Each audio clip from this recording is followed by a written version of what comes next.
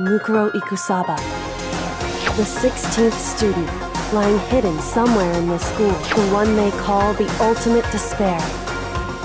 Watch out for her.